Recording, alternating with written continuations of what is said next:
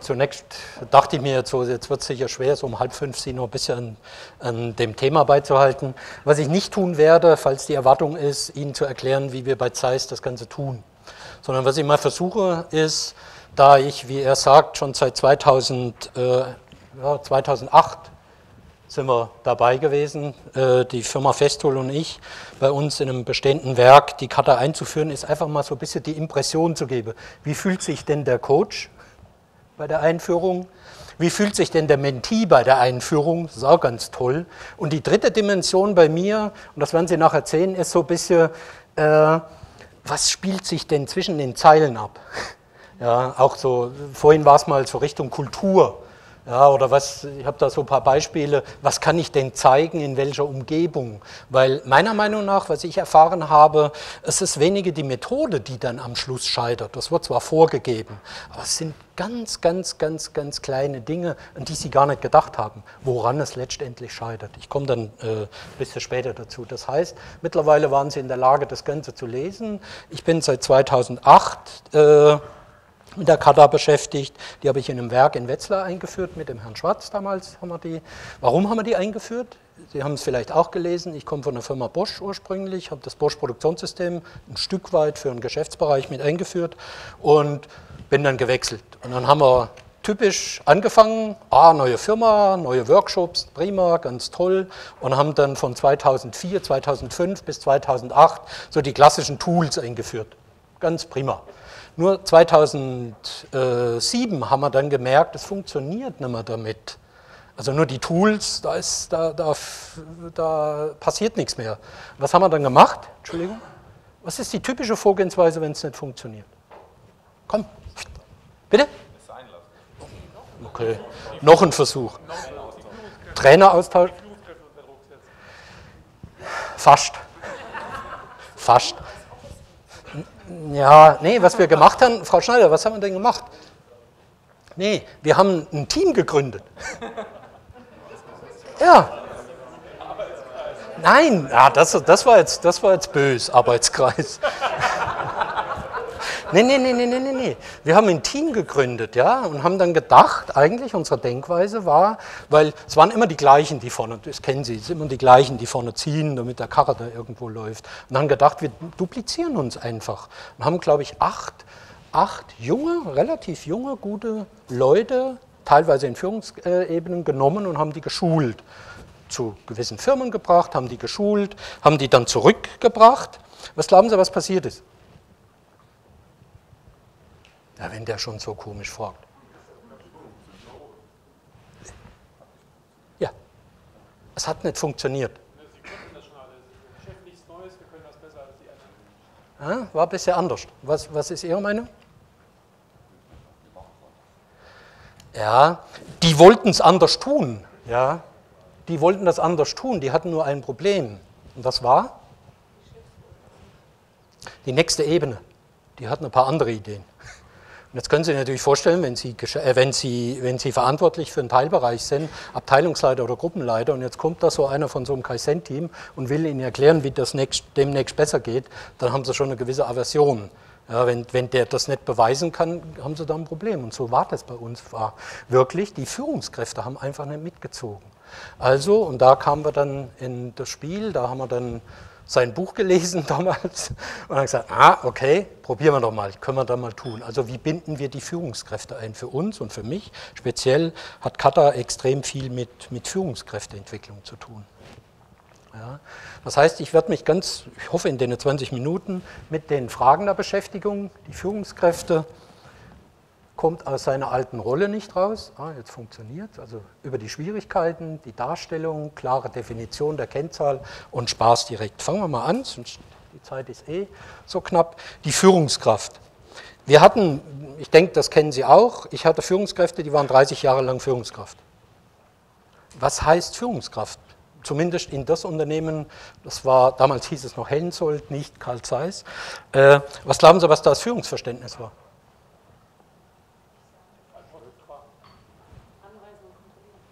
Ja, was noch? Entscheiden. Ich kenne die Lösung. Ich bin Chef. Und das ist auch gar nicht mal so von der Hand zu weisen, ja, weil normalerweise, wenn Sie umgucken, ich bin da immer ein bisschen ganz gern provokant und ich hoffe, ich treffe Sie da nicht, sondern ich, ich reg Sie eher zum Nachdenken da an.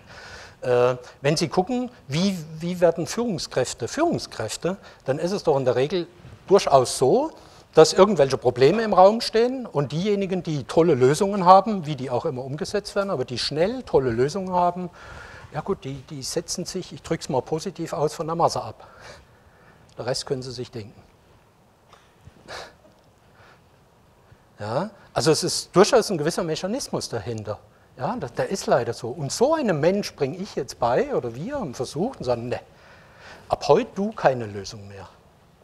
Wie es sich der gefühlt hat. Ganz bombastisch. Das heißt, der hatte, der hatte richtig ein Problem mit, seiner, mit seinem Eigenverständnis als Führungskraft. Das war irre schwer, war irre schwer. Was ist die Gegenseite davon? Ja, der Mitarbeiter. Was glauben Sie, wie der sich plötzlich gefühlt hat? Chef kommt, bitte tun Sie das und das. Mitarbeiter tut. Und plötzlich kommt der Chef und sagt, nö, das machen wir jetzt anders. Zeig mir mal die Lösung. Der hat sich auch nicht toll gefühlt. Ja. Also das, das müssen Sie einfach bei, bei, bei der Einführung extrem berücksichtigen. Was haben Sie für eine Rolle? Was, was, wie, wie, wie ist Ihre Kultur? Ich komme nachher nochmal dazu.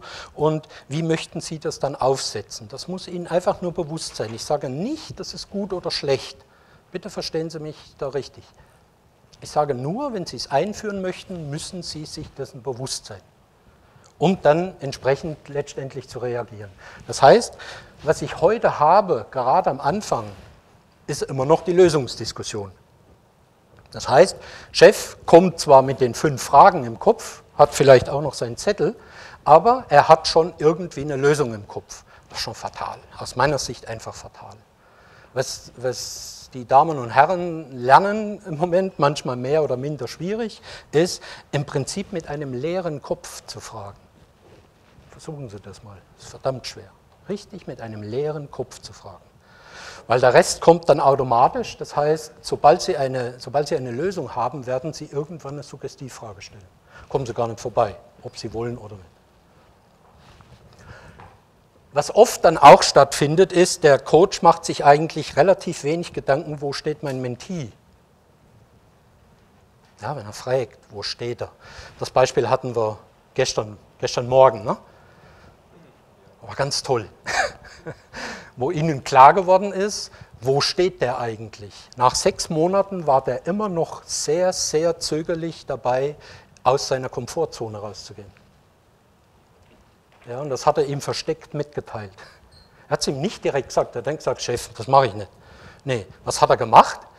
Er hat eine Zielkurve dargestellt für seinen Zielzustand und dann hat er eine zweite Kurve darunter dargestellt, ne, was er sich zutraut. War irre.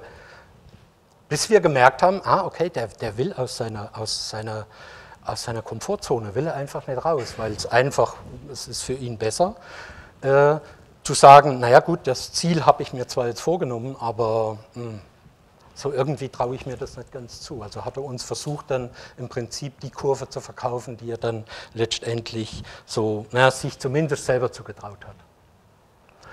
Was tun wir ab und zu oder in den, in den Bereichen, in denen ich da tätig bin? Hat sich ganz gut bewährt, das auch was, was, was Sie sagen, diese eine Gruppe zu haben. Ja, also eine, nicht nur den Coach-Coach, sondern eine Gruppe, die dem anderen immer zuhört. Ich habe relativ gute Erfahrungen gemacht, wenn ich sage, hey, passt mal acht, ihr Beobachter, die den Coach beobachten, setzt euch im Vorfeld mal zusammen und sagt, auf was solltet ihr denn achten? Also bestimmt mal drei bis fünf Kriterien, worauf der achtet. Und die dürfen auch wechseln. Also nach zwei Monaten kann es sein, a, sind völlig andere Fragen und oder es gibt einen Coach, die hatte ich auch schon, die ganz speziell gesagt haben, hey, und bei mir bitte darauf achten, sobald ich Lösungen anspreche, irgendein Zeichen. Ja, also das ist wirklich, wirklich ganz gut und was sich bewährt hat, ist auch zu achten, dass es nicht zu viele Kriterien sind. Sonst wird es einfach zu lange. Die Darstellung vor Ort, ich glaube, wir hatten es, ich weiß gar nicht, wer, wer es schon mal gehabt hat. Darstellung vor Ort meine ich diese, diese Tafeln, diese Flipcharts und wie, wie präsentiere ich meine, meine, ja, meine Ergebnisse. Ich habe das mal so ein bisschen provokanter hingeschrieben. Sie sollten die dem Umfeld anpassen. Ich komme gleich darauf. Wenn die Firma Zeiss ist sehr heterogen. Also wir haben Semiconductor-Hersteller, die wirklich im Nano, Nano, Nano-Bereich fertigen und, und sehr high-end technologisch unterwegs sind. Dann gibt es andere, die sind weniger technologisch unterwegs. Äh, ich springe mal vor. Und da gibt es auch Unterschiede in, den Unterschiede in der Darstellung. Jetzt sagen Sie, ja logisch, völlig klar, soll ja auch so sein. Sie müssen es sich nur immer wieder klar machen, das war das, was ich vorhin gesagt habe. Ja, warum? Es gibt Bereiche, die mögen oder die können mit diesen, mit diesen relativ pragmatischen Dingen einfach besser umgehen ja, für die ist das, ist das leichter als für andere Bereiche, die hier im Prinzip schon ja, mehr, mehr ins Akademische gehen müssen, wegen ihrem Umfeld. Klingt blöd, aber ist so. Also wenn der, der Mentee oder der Mentor aus diesem Bereich so etwas vorstellen würde bei monatlichen Runden in den Bereichen, ich möchte nicht sagen, dass er nicht ernst genommen wird. ja, aber es spielt eine enorme Rolle. Und dann geht ihnen das Ding kaputt und es hing eigentlich nur an der Darstellung. Das müssen Sie sich immer mal wieder auch, immer wieder dann auch vor Augen führen. Ja? HR-Bereich, Sie kennen den. Eine völlig andere Darstellung. Ich glaube, weiß nicht, Sie haben mich auch ganz komisch angeguckt, als wir da reingegangen sind. Das ist die Tafel von dem HR-Bereich, von der Dame, die den äh, Recruiting-Prozess von, von zwei Tagen auf 60 Minuten bringen möchte. Die Struktur ist, Sie können es nicht erkennen, die Struktur ist ähnlich. Das ist mir wichtig. Aber sie hat das im Prinzip selber so kreiert, hat das mit ihrem, äh, mit ihrem Chef so dargestellt. Finde ich klasse. Das in einem Produktionsbereich, das Ding ist tot. Im richtigen Produktionsbereich, das Ding ist tot. Ja, also einfach nur so ein bisschen am, am Beispiel Ihnen gezeigt, was ich, was ich da meine. Jetzt habe ich den falschen Knopf gedrückt. Das ist auch ganz spannend. Sie hatten vorhin, ich bin absolut bei Ihnen, das Problem. Was ist das Problem?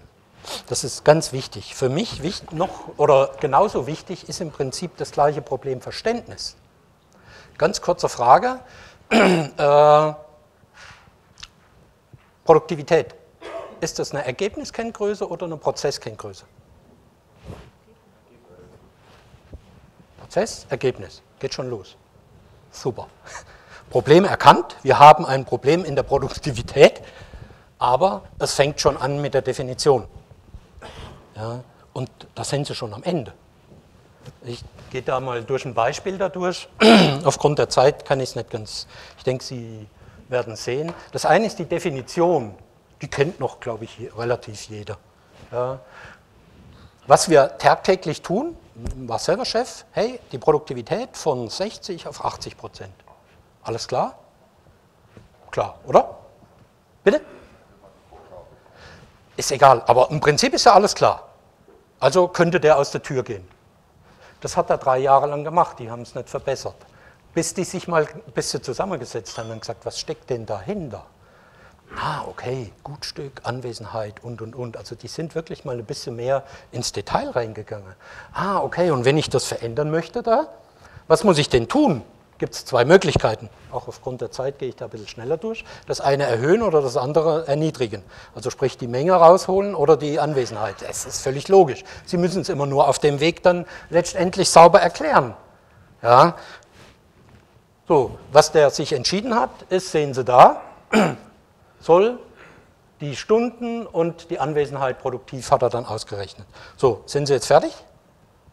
Wenn er schon wieder so fragt. Ne? Nee, sie sind nicht fertig. Weil der gemerkt hat, nachdem er mal ein bisschen weiter nachgedacht hat, hey, hinter diesen 2000 Stunden stehen diese Bereiche. Um dann wieder weiterzukommen und dann zu sagen, ah, okay, welchen Bereich gehe ich denn letztendlich an? Und dann sind wir auf diesen einzelnen, einzelnen Bereich gekommen. Das war jetzt alles ein bisschen schnell, aber überlegen Sie bitte, wo Sie am Anfang einsteigen und wo Sie enden. Ganz, ganz vorne. Wir haben die Produktivität von 60 auf 80 Prozent zu steigern. Funktioniert nie. Originalton, Sie unterbrechen mich, Herr Rink, wenn ich was Falsches sage. Ich glaube, der Mitarbeiter hat dann zu Ihnen gesagt, hey, das ist seit drei Jahren das erste Mal, dass wir ein gemeinsames Verständnis von der Produktivität haben. Ja. Und wir marschieren los. Das war ein Stück weit Ihre, von, von Ihnen die Frage, ja. das Problem. Problem ist gut, aber Sie brauchen ein Problemverständnis. Ja, haben wir das Gleiche verstanden? Und Sie sehen, das, ich glaube, eine Woche haben sie mit dem gearbeitet, um das ganz letztendlich so darzustellen, damit der wusste, aha, okay, ich muss in, meine, in, in diesen Bereich reingehen, um den letztendlich zu verändern.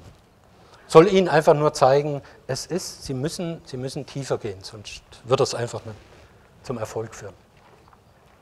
Spaß, das war auch so ein, so ein, so ein typisches, ich weiß nicht, irgendjemand hat mich beim, beim Essen gefragt, kennen Sie sicher auch. Äh, Sie fangen was an, auch wir haben angefangen, typisch Produktivität, und der hat uns eine ganze Woche lang am Anfang versteckt, am Schluss sehr hart gesagt, ich habe eigentlich keine Zeit dafür. Ich habe keine Zeit, ich habe so viel zu tun, ich habe keine Zeit dafür, also bleibt mal vom Hals. Gut, was wir dann getan haben, gesagt, okay, du hast keine Zeit dafür, wie sieht denn dein Tagesablauf aus? Ah, ich habe hier immer, ich kriege immer, das waren in der Beschichtung, ich kriege hier immer Teile irgendwo in meinen Bereich reingestellt, da muss ich mich um Papieren kümmern, da muss ich mich um das kümmern, muss ich mir ich habe keine Zeit für was anderes. So, da sind wir hingegangen, ganz relativ logisch.